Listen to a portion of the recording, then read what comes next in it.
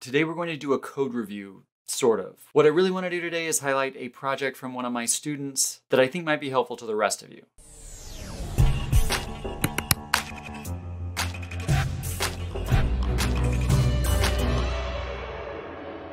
Welcome back, everybody. It is great to imagine seeing your smiling faces. I hope life is treating you well. This video was inspired by a conversation I had with Thomas, who is a good friend, a former student, and one of the great people who help support this channel on Patreon. Thomas and I were recently having a conversation during my virtual office hours, and there were just a lot of things in that conversation that I thought might be helpful to you, and so I thought, let's make a video about it. I asked Thomas's permission, and he said I could. So normally at this point, I say that all code from this video is going to be on Patreon. You, typically that's the case, and that's that's normally how I do things. In this case, however, the code is Thomas's. It's all available publicly on GitHub and so I'll just link down in the description and you can just check it out. But now let me give you some backstory. So last summer I taught an online class. It was the first online class I've actually ever taught and it was an adventure. It was a lot of fun. And Thomas took that first class and in that class we talked about a lot of different strategies for learning to become a better programmer. We went over common mistakes that student programmers make. We talked about modular programming. We talked about software testing, setting up projects, design patterns, and a bunch of other stuff. And when all was said and done, I sent my students off into the world, hopefully to do great things and to continue honing their skills skills.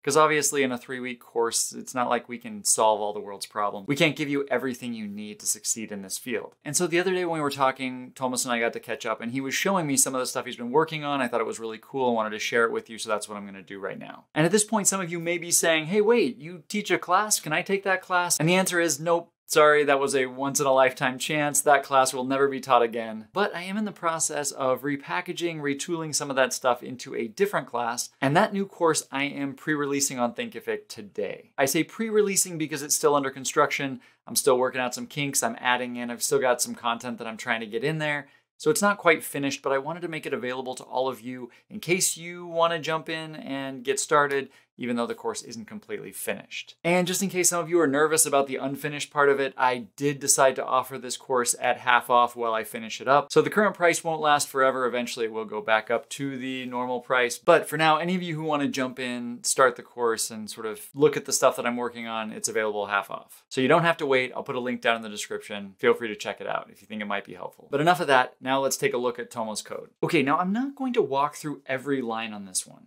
It's up on GitHub. You can all check it out at your leisure. Of course, it's also an active project, so things may change a little between now when I'm showing it to you. And I mean, hopefully it's getting better all the time, and I know he's working on it actively. But there were some things about this I wanted to point out that I think might help you. So the first is that this project is a great example of scratching your own itch. So you've heard me say in previous videos, we talked about projects and coming up with project ideas. But in case you haven't heard it, as you're looking for projects to work on, you're trying to teach yourself how to program, you're looking for something to do that's going to hone your skills and build your confidence and whatever, it's always a good idea to do something that you care about or something that you're going to use, something that matters to you. And in this project, Thomas did just that. So basically, he noted that he was spending a lot of time translating between German and English, and he didn't want to keep jumping between his terminal and his web browser. So he decided to make a terminal front end for the dictionary webpage that he uses, which is DictCC. So we can see the web page that he was actually using here.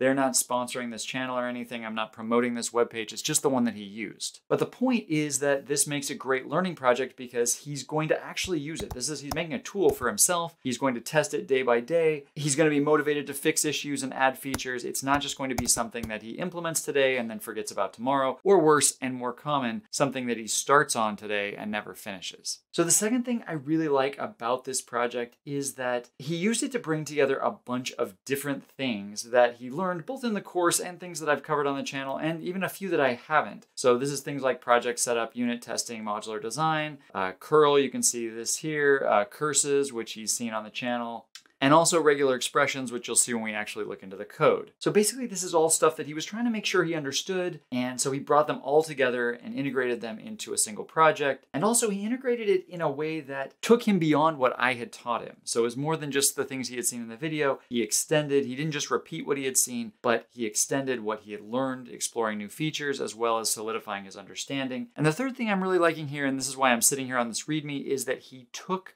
this project very seriously. He's treating this like a serious professional or community project where he's documenting his process, he's keeping track of the work to date, the to do list, the stuff that needs to happen in the future. And of course, there are a lot of different ways we can do this. He's using his README file, which integrates well with GitHub. But my point is that with so many students I'm learning to program projects, they're really sloppy, super sloppy. And I get it. You're thinking nobody is ever going to see this. I don't have to make it nice. And sometimes that's true. And sometimes it might even be the right move if you're in a hurry. But the point is here, Tomo is using this one to learn not just how to create C code, but he's also learning how to create and document and manage a project. And he's trying to build habits, really good habits that are going to serve him well in the future. And so I really want to applaud that before we jump in because that aspect of this project really makes me happy. And of course, taking all these things seriously is also going to make it easier for him to share this project with other people to turn it into something bigger if he wants to at some point. But now at this point, enough of looking at the README, let's take a look at the code. Of course, now I'm gonna gloss over a lot uh, because there's a lot of code here and this is gonna be a short video,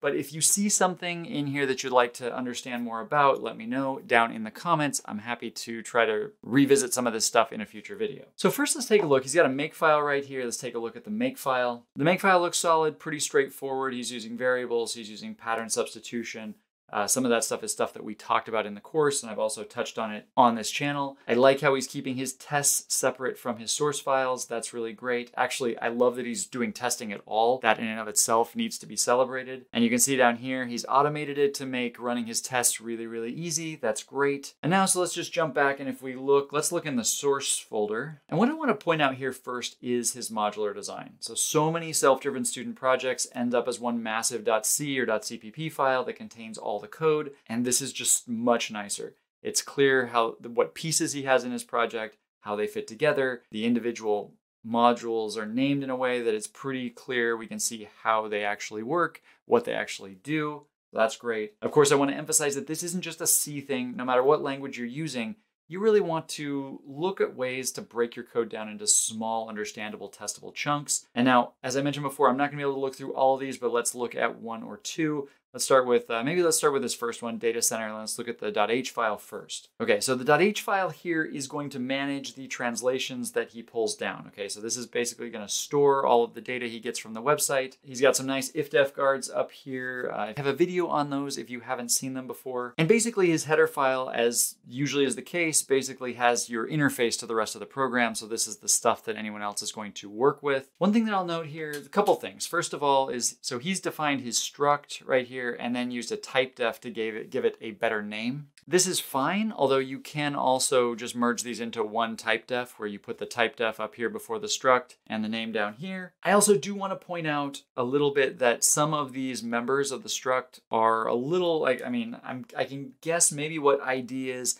I'm not really sure what NR or VL or VR is and then is marked. I can kind of guess that. So there may be a little bit of a naming issue here. Tomo, if you're listening, you might want to check that out. Personally, I would go in and make these a little more readable. Now let's take, now let's back up. Uh, let's go back in here and look at the .c file. So this also looks pretty good. You got some similar issues or uh, whether they're issues, similar comments, I would say, about both the type defs and the naming. Although in this case, the you know, vocab and the next this, these are making more sense. I can guess what these things mean. I can see he's got a couple of linked lists in here. That's fun. Not something that he was working on. And I also noticed that he's got, he's separating things into private variables and private methods, private functions right here. He's basically trying to keep track of the things that stay in the module and the things that are outside. Now, one comment that I will make is that these functions, it's great that he's lumped these in here and he hasn't put these, you notice, in the header file, so that's great. But we could take it a step further and we could make these static, which would basically put these functions strictly in this translation unit. And that would basically mean that no one could call these functions from outside this particular module. But yeah, so if we look down through the rest of this, things are looking pretty clean. I think here we probably, there's there's some different ways that we could handle this logic, but this looks okay right now. Uh, also, I noticed, you know, we've talked a little bit about this in the past, but, you know, he's using string copy uh, and see if there's any more of those. So things like sprintf.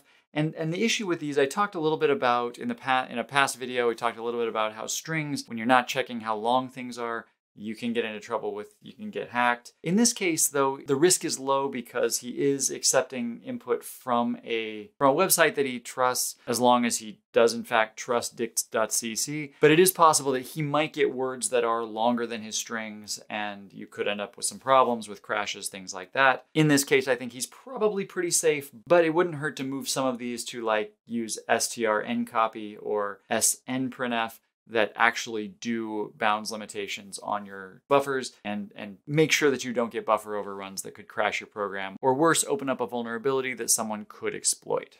Okay, so then if we come down here, yeah, okay, so this is all, I like that he's grouping his methods by public and private. That allows you really easily to tell what is the public facing interface and what isn't, what's staying inside the module. Now let's let's come back up here. Let's let's pop up a level again, I want to look at a different module because something else that I wanted to point out about this code here. So we've let's look at, I want to look at the webclient.c. Okay, so we've talked a little bit about how we use, how we can use curl for some easy networking stuff. And he's using curl here, which is great. And you, you also notice I mentioned regex. So he's basically using regular expressions for his searching. I think that's great. I'll let you look at that. I'm not going to go into that right now. But one thing I did want to point out is that one thing that I didn't talk about in my previous example with curl is how to, when we talked about how to do get requests, I didn't talk about how to do post requests or open sessions. And that's something that he does down here. So we basically have, you know, some open session and some post information. Basically, if you wanted to post a form or something like that on a web page, which he does here, because some of the interactions that he wants to do with this web page requires him to post something. So of course, I may do a video in the future where we break down all the individual pieces of this. But for now, if you're interested, this is a good